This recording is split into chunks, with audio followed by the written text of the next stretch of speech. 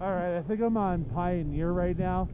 I was just in, I was just in some, it would really suck to fall here territory, but now I'm good.